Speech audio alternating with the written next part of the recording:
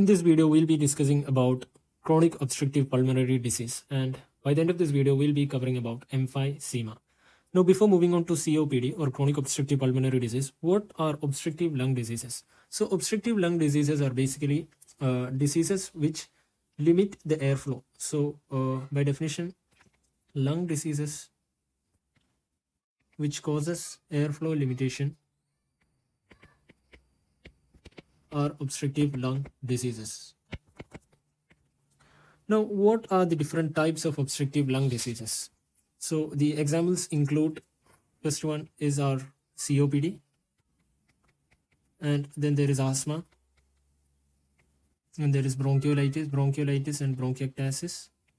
These are some of the obstructive lung diseases. Now what is COPD? That is chronic obstructive pulmonary disease. By definition, by the WHO definition, it is actually a preventable, treatable disease and it is characterized by persistent respiratory symptoms and airflow limitations. So there are two points to be noted. That is, there is persistent respiratory symptoms and there is airflow limitation. Now what causes these symptoms and uh, airflow limitation? This is due to the exposure to noxious particles and gases. So it's usually due to the exposure to the noxious gases or particles. Most commonly tobacco smoking. So the leading cause of uh, COPD is smoking. So with that, now let's move on to emphysema. Now COPD is again into two types. So there are two types and they are one is emphysema and the other one is chronic bronchitis.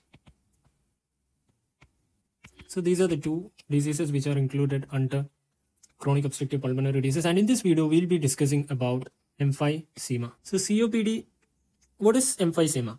Emphysema is a chronic lung disorder which is characterized by the abnormal dilatation of air spaces. So it is characterized abnormal dilatation of airspace. Now from where? Well, the dilatation of airspace starts distal to the terminal bronchiole.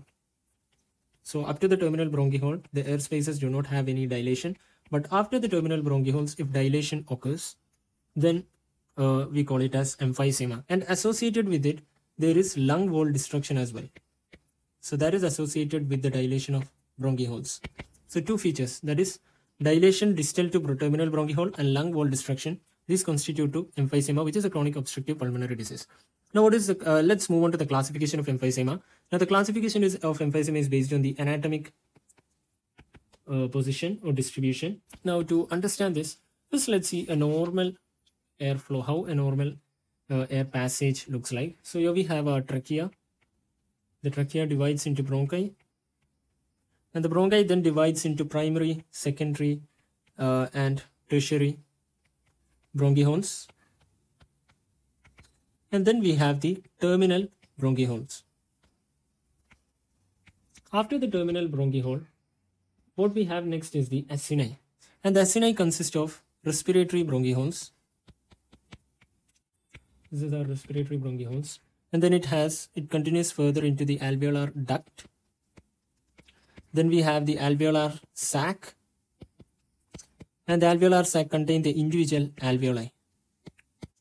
So this whole structure distal to the respiratory bronchiole or distal to the terminal bronchiole, this is called as the acinus. In emphysema, what happens is that this acini gets dilated. That is what is happening. And the septa, uh, and there is a destruction of the lung wall as well. So now let's move to the classification. So once again, this is our respiratory bronchiole. This is our alveolar duct, the alveolar sac, and then we have the individual alveoli. So this constitutes our acinus. Now, depending upon the anatomic distribution, like which part is involved, we classify the emphysema into four types. So first type is the centri-acinar type. As the name uh, suggests, what happens here is that the central parts of the acini is involved and the alveoli is not involved. So here, as we can see, this is the central part that is dilated, whereas the distal alveoli are not involved. So that is our first, uh, that is our first type. Now moving on to our next type. This is called as the pan-acinar emphysema. Here the whole of the distal acinus is involved. So we have the entire acini which is uh, dilated distal to the terminal bronchiole. That's our second type. And in the third type, we have distal acinar. In distal acinar, as the name suggests, the distal part, that is alveolar sacs and the alveolar uh, and the individual alveoli are dilated more. And finally, we have irregular emphysema. So this is how anatomically the emphysema is characterized here. The uh, involvement is irregular. Now, let's speak about each one individually. What are the features and where do we see these different types of emphysema? First one coming to Sentry SNR. The first thing to remember is it is associated with smoking. It is strongly associated with smoking, and in fact, the leading cause for COPD is smoking. The number one reason why chronic obstructive pulmonary disease happens is because of chronic smoking greater than 40 years. So if you have such a chron, if you are such a chronic smoker, you have a very high chance of getting COPD. And where is it involved? Does it involve the whole of lung? No. Usually the upper lobe is involved, and amongst the upper lobe, the apical part is involved. So the apical upper lobe is usually involved in centri-acinar. And around 95% of cases, 95% of the emphysema are clinically uh, centri-acinar emphysema. So that's about centri-acinar uh, emphysema. Now moving on to the pan-acinar emphysema. Now, uh, this is more common in the lower lobes. Lower lobe of the lung is more uh, affected. And the second point to notice, it is associated with alpha-1 antitrypsin deficiency. So we'll speak about the role of alpha-1 antitrypsin. It's actually an anti-protease. When we speak about pathogenesis, we'll move into that. Now next, coming to a third type, that is the distal acinar. Here what happens is that uh, the green color which we have marked here is actually our septa. So all of these are our uh, alveolar septa. Now since the distal acinar is uh, here the dilatation occurs more close to the septa, the uh, emphysematous alveoli could actually rupture. And as a result, what happens is that there is a chance for pneumothorax. So pneumothorax possibility is very high because it is very close to the alveolar septa and it could burst out, right? And uh, it is present comparatively, it is more common in the upper limb. And wh wh why does this occur? This occur due to forces acting on the septa. So if the forces are uh, pulling on our septa, this will also pull our acini and the distal part of acini gets pulled leading to its dilatation. So in what conditions does the pulling of septa occurs? It occurs in uh, fibrosis, in lung fibrosis and in atelectasis, that is in lung collapse. So uh, that is where distal acinar is mostly seen. And finally coming to the irregular. So here there is irregular involvement and it is usually occurs near scar tissue. So if you have a hold, an old infl healed inflammatory process such as in TB, if a TB gets healed, later there is a possibility of development of COPD. So to summarize, uh, centri-acinar associated with smoking in the upper lobe and 95% constituting of the uh, it constitutes 95% of the clinical cases. Pan acinar involves the whole of acini, affects the lower limb associated with alpha-1 antitrypsin deficiency. Distal acinar is due to forces acting on the septa, uh, it, such as in conditions such as fibrosis and atelectasis, and it has a potential for pneumothorax. And irregular, it occurs near the scar tissue and found near old healed uh, inflammatory scars such as those found in TB. Let's now move into the pathogenesis of emphysema. So the most common cause, as we have said, the leading cause uh, for emphysema is smoking. So smoking is the number one cause. And then there could be air pollutants with noxious gases. And along with that, genetic predisposition of the individual does have a role. So these three are the risk factors, or you could say the etiological factors which are responsible for developing emphysema. Now, what do they do? So basically, three processes are involved. So let's make a flow chart. So three processes are involved. Firstly, the inflammatory inflammation. Now, what happens is that because of smoking, smoking releases a large number of or triggers the release of large number of inflammatory mediators such as tumor necrosis factor, leukotriene B4, and IL-8 and these are released by the macrophages and the epithelial cell of the lung. So these cells will release these factors and what do they do? They are chemo attractants and by chemotaxis what happens is that the leukocytes uh, undergo migration and these leukocytes they will exaggerate the inflammation and as a result what happens is that in response to this uh, inflammation growth factors are released. So growth factors are released and they will produce the structural changes that is the dilation and destruction of lung wall. So this is how this is a major cause that is inflammation released by the agents of smoking. Then there is another uh, contributor that is the imbalance of protease anti-protease. Now what is anti-protease? The main anti-protease is what we have mentioned earlier that is alpha-1 antitrypsin. So we have said that the macrophages, uh, epithelial cells, leukocytes are involved in inflammation, right? These three cells will actually, they will release protease and the protease will uh, cause the wall destruction. They will destroy the elastic tissue and they will cause the lung cell wall destruction. And usually this is balanced by the alpha anti-1 trypsin. However, there are certain individuals which have deficiency for alpha-1 antitrypsin. And this is an autosomal recessive disorder, which is the gene involved. The gene is present on chromosome number 14 on the PI locus, that is the proteinase inhibitor locus, which codes for alpha-1 antitrypsin. So people which have with uh, which have a genetic predisposition to alpha-1 antitrypsin, they can easily develop emphysema on smoking. So that's the second pathologic, uh, the second route of pathogenesis. And finally, there is oxidative stress. So the uh, smoking, the tobacco products and the noxious gases, they release oxidants which will produce inflammation and the same cycle that we have discussed now will happen that will finally lead to the airway dilatation and wall destruction. So that's about the pathogenesis and infections. The role of infection is that these infections themselves do not cause emphysema, but they could exacerbate. So that's a point about infections.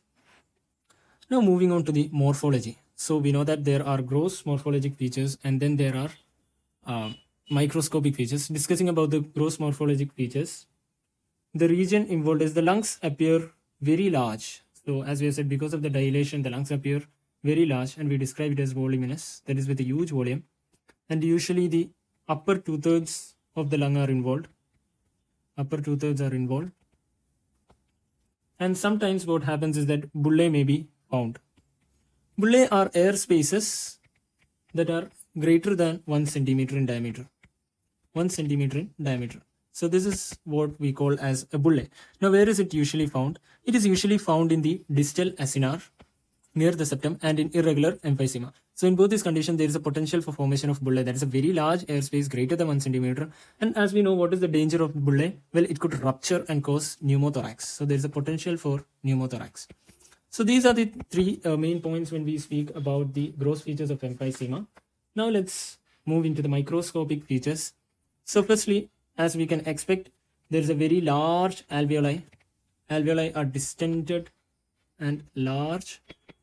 And because of the uh, active wall destruction or the elastic tissue destruction by the proteinases, the septa is thin. So there will be a thin septa. And the pores of Kohn which are present between the alveoli, they become enlarged. So the pores of Kohn between the alveoli are enlarged. And inflammation may be seen in the small airways. So distal to the acinus, the small airways may also get inflamed. Now these are the four changes. In addition, as the disease progresses and as the disease advances, there will be some other features.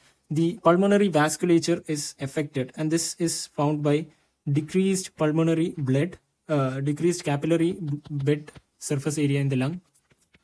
And uh, there would be compression of bronchioles so the uh, proximal bronchioles may be compressed as the uh, as the uh, emphysema or as the dilatation progresses.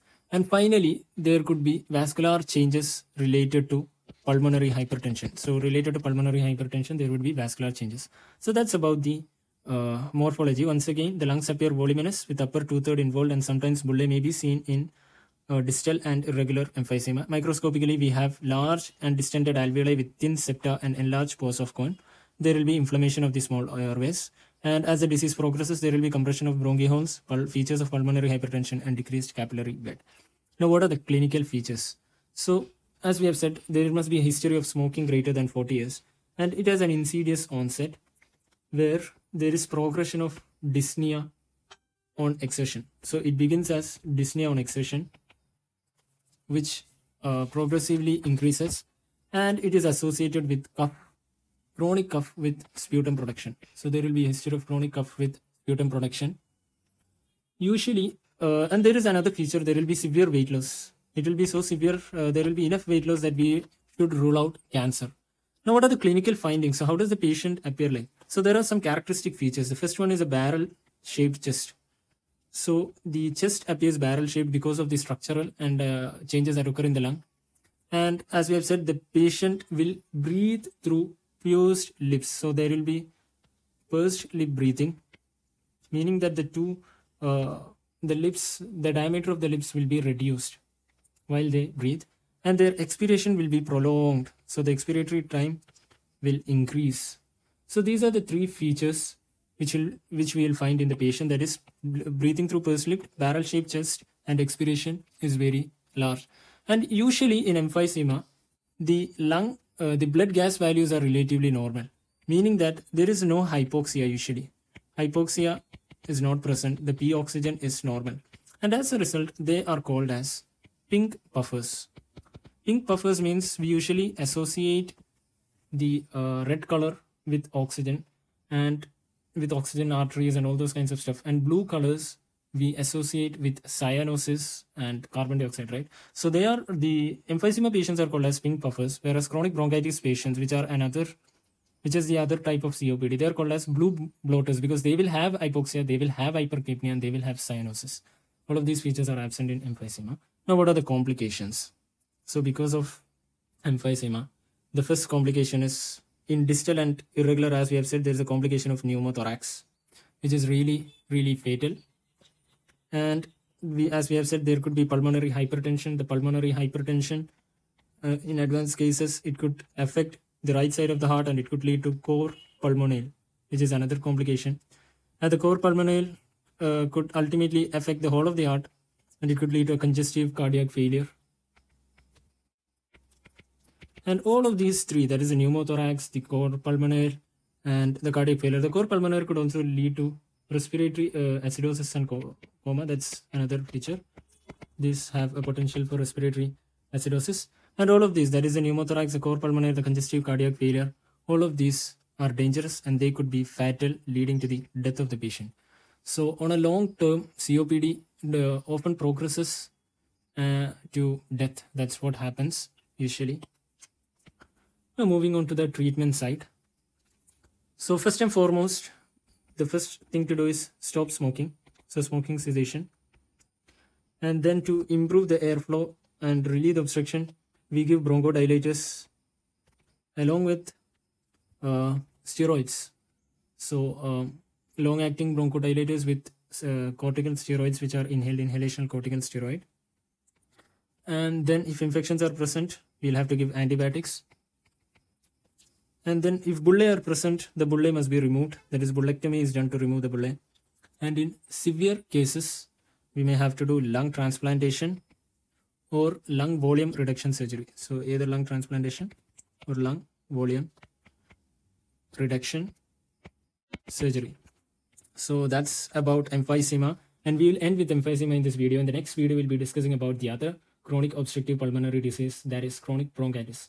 As of now, remember that COPD is actually a preventable, treatable disease with persistent respiratory symptoms and airflow limitation. Coming to emphysema, to summarize emphysema, the anatomic site involved is our acinus, and the major pathological changes involved are uh, airway destruction and airway uh, air airspace enlargement and uh, lung wall destruction. The most common cause is tobacco smoking, and the patient presents with an insidious onset of rapidly uh, an insidious onset of dyspnea, which later progresses and there are no hypoxia. Weight loss may be present along with cough and expectoration. So that's about emphysema in a nutshell. We'll see in the next video about chronic bronchitis.